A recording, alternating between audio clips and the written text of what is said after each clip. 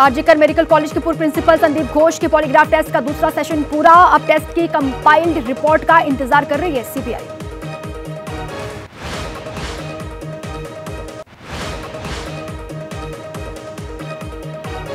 RG Kar college में हुई घटना का नया वीडियो सामने आया। 9 अगस्त का सेमिनार हॉल का वीडियो दिखाई दे रहा है।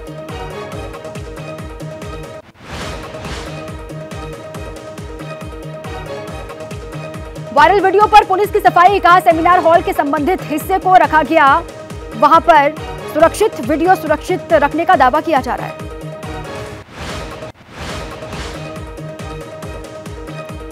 कोलकाता रेप मर्डर केस को लेकर छात्र संगठनों ने मार्च किया है पुलिस ने रैली की परमिशन वहाँ पर लोगों को नहीं दी है। ADG law and order Manoj Verma का बयान सामने आया।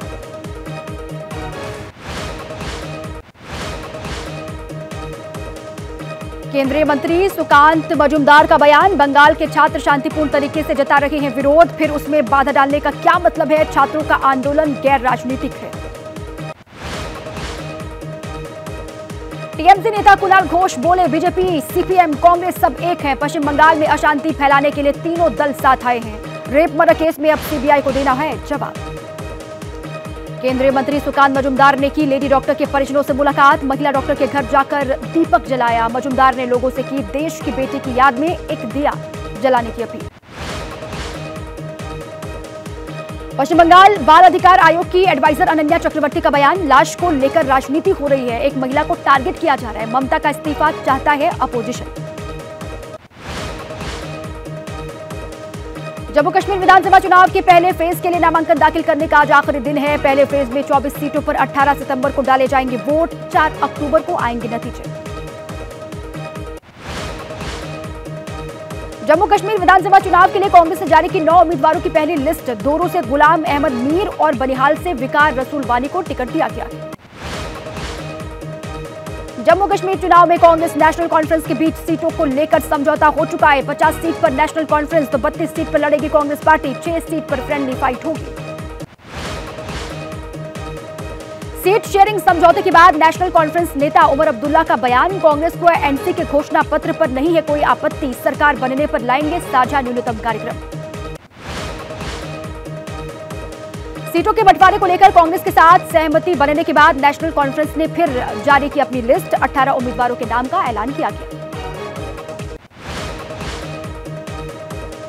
जम्मू कश्मीर के लिए बीजेपी ने पहले फ़ेज़ के 15 उम्मीदवारों का ऐलान कर दिया है। बाकी दो चरण की लिस्ट वापस ले ली है। निर्मल सिंह, कविंद्र गुप्ता का इसमें टिकट काटा गया था।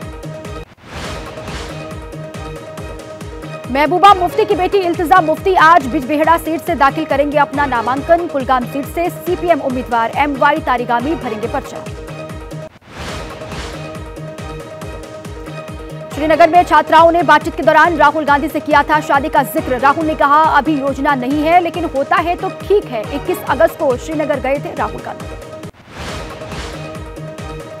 कश्मीर में चुनाव जीतने के लिए कांग्रेस पाकिस्तान और हिजबुल्ला के साथ भी कर सकती है गठबंधन। केंद्रीय मंत्री जितन राम मांझी का ये बड़ा बयान।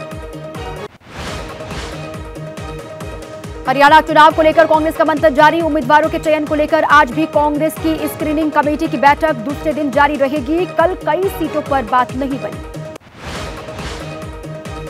हरियाणा में 1 अक्टूबर को होने वाले चुनाव की तारीख को आगे बढ़ाए जाने पर आज आएगा चुनाव आयोग का फैसला। बीजेपी और जेजेपी ने चिट्ठी लिखकर तारीख आगे बढ़ाने की मांग की है। डेट आगे बढ़ाने पर हरियाणा के पूर्व सीएम भूपेंद्र हुड्डा बोले, बीजेपी पहले ही मान चुकी है हार। चुनाव आयोग ने सोच समझकर तारीखों का ऐलान किया होगा। हरियाणा में जेजेपी और आज़ाद समाज पार्टी के बीच गठबंधन की आज होगी घोषणा। दुष्यंत चौटाला और चंद्रशेखर आज़ाद करेंगे ऐलान। 20 से 25 सीट पर चुनाव लड़ सकते हैं चंद्रशेखर आज़ाद। आईएनएलडी चीफ अभय चौटाला का बीजेपी और कांग्रेस पर वार बोले, दोनों को इस बार हरियाणा की जनता जवाब देगी ओल्ड स्कीम पेंशन लागू करने का वादा भी किया। महाराष्ट्र के सिंधुदुर्ग में छत्रपति शिवाजी महाराज की प्रतिमा ढही। प्रधानमंत्री मोदी ने पिछले साल 4 दिसंबर को एक किले में 25 पैंतीस फीट ऊँची मूर्ति का अनावरण किया था।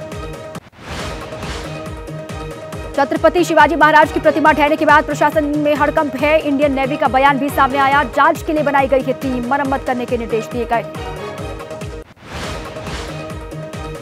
सीएम एकनाथ शिंदे ने सिंधुदुर्ग की घटना पर चिंता ज़ाहिर की। कहा, नौसेना ने स्थापित की थी मूर्ति, तेज हवा की वजह से गिरी प्रतिमा, फिर से खड़ी करेंगे आराध्य देवता की मूर्ति।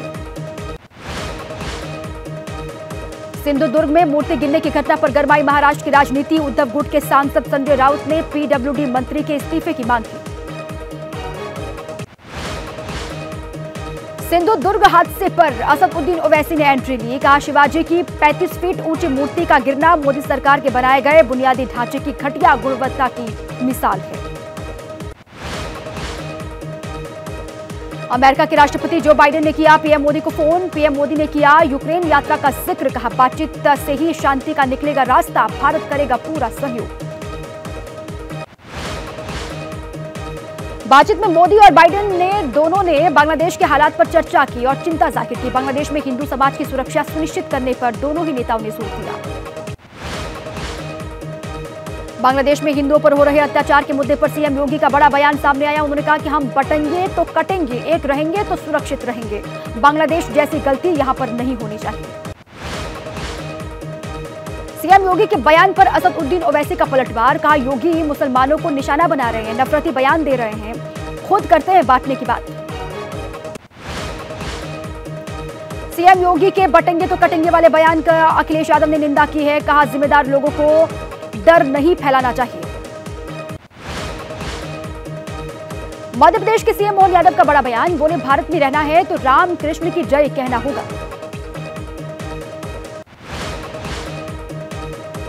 सीएम मोहन यादव के रामकृष्ण वाले बयान पर कांग्रेस नेता सुप्रिया श्रीनेत बोली, भगवान राम और कृष्ण का नाम अपनी गंदी राजनीति के लिए इस्तेमाल ना करे बीजेपी।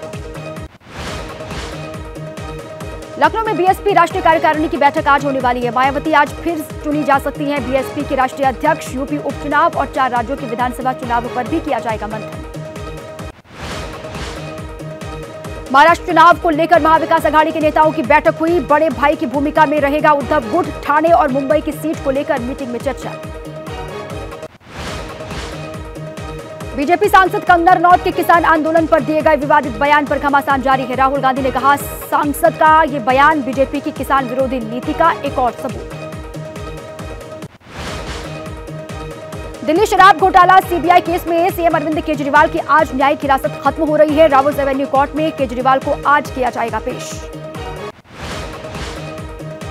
बीआरएस नेता के कविता की जमानत याचिका पर आज सुप्रीम कोर्ट में होगी सुनवाई। हाईकोर्ट ने 1 जुलाई को कविता की जमानत याचिका खारिज कर दी थी।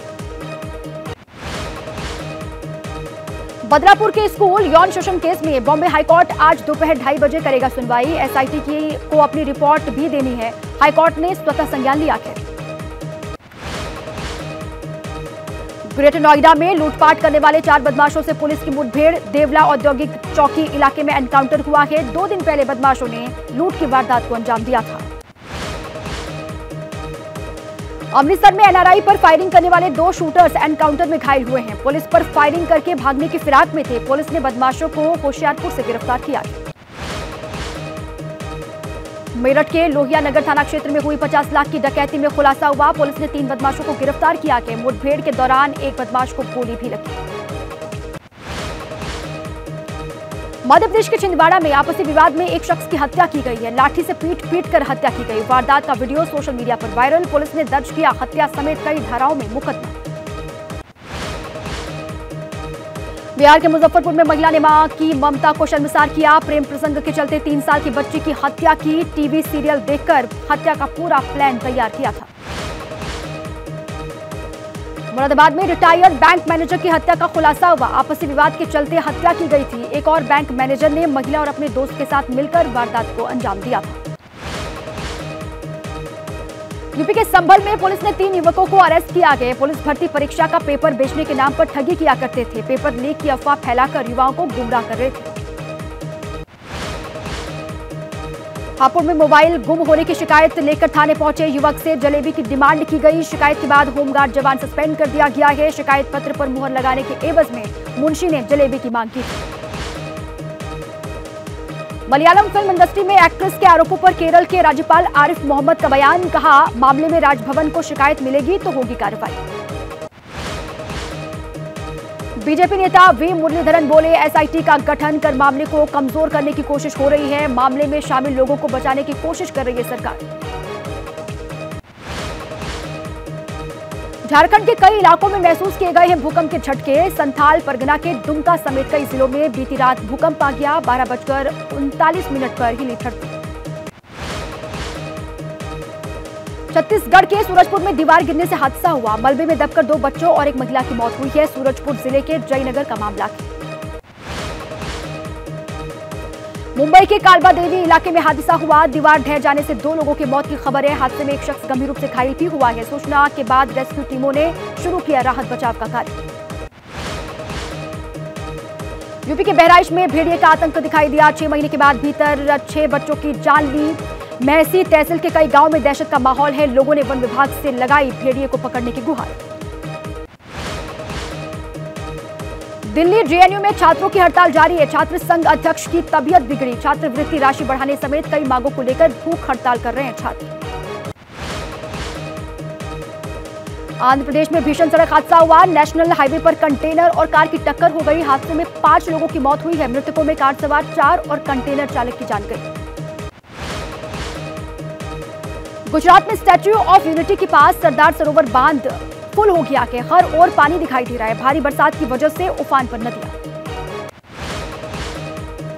अहमदाबाद के कई हिस्सों में भारी बारिश का सितम जारी है। सड़कों पर भरा कई फीट तक पानी पानी में डूबी गाड़ियाँ दिखाई दी। जलभराव से बढ़ी लोगों की परेशानी।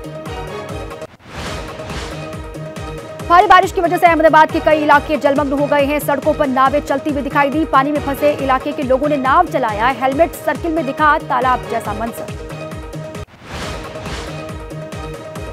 मोरबी में ट्रैक्टर समेत 10 लोग पानी में बहे। एनडीआरएफ और एसडीआरएफ की टीम ने मौके पर पहुंचकर चार लोगों का रेस्क्यू किया। अब भी कई लोग लापता बताए जा रहे हैं। मथुरा से द्वारका तक जन्माष्टमी का जश्न है। द्वारकाधीश महाराज के दरबार में जुटे हज़ारों की संख्या में श्रद्धालु। जन्माष्टमी के मौके पर रंग बिरंगी लाइटों से मंदिर को सजाया गया। जन्माष्टमी पर गोरखनाथ मंदिर पहुँचे सीएम योगी आदित्यनाथ। गोरखनाथ मंदिर के गर्भगृह में विधि विधान से पूजा अर्चना की। जन्माष्टमी पर पटना के स्कॉन मंदिर में जुटी भीड़। अनियंत्रित भीड़ को कंट्रोल करने के लिए पुलिस को मशक्कत करनी पड़ी। जन्माष्टमी को देखते हुए मंदिर पहुँचे हज़ारों श्रद्धालु।